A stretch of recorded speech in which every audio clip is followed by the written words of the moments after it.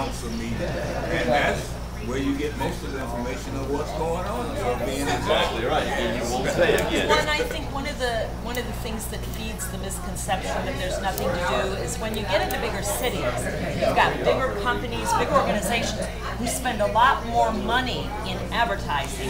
They hear about it more, so they think there's more there, but that's not the case. It, there's just as much to do here.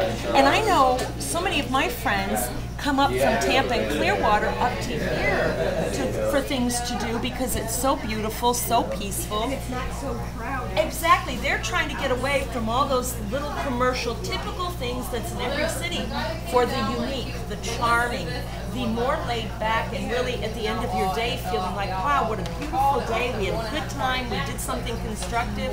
We learned things, and we just had fun. You know, before we go too much further, Joanne, introduce yourself, please. Everybody's wondering who's going to be here.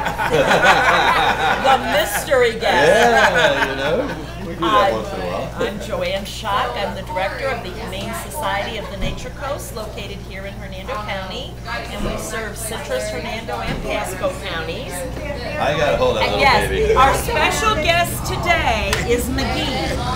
McGee is a 12-week-old puppy, and he and all his litter mates have been animal services. All of them were terribly sick. The entire litter had a case of parvo, and the animals, the puppies, were all transferred to the Humane Society. And while we weren't able to save all of them, we saved most of them.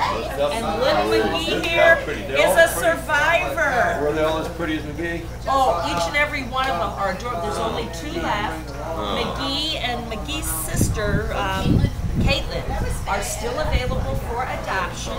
And all of our animals have all their shots today.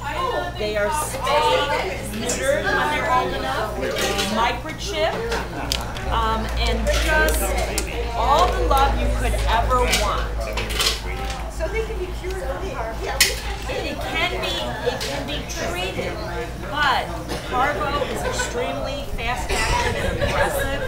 It is very expensive to treat them. It is very intensive. I think he wants mama um, Like I said, we didn't quite, we wished we could have saved them all, but some either the weaker puppies, it attacks mostly puppies, older dogs, or sick dogs.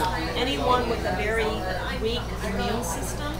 But our staff, our veterinary technician was in and out of that shelter seven days a week, morning, noon, and night, to make sure they got their and their care, whatever it took. She was there to make sure she did it.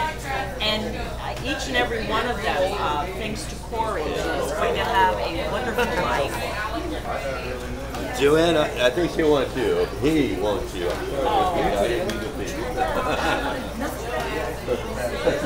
Well, and he's one of our staff members very kindly drove over, so she'll be able to take him back.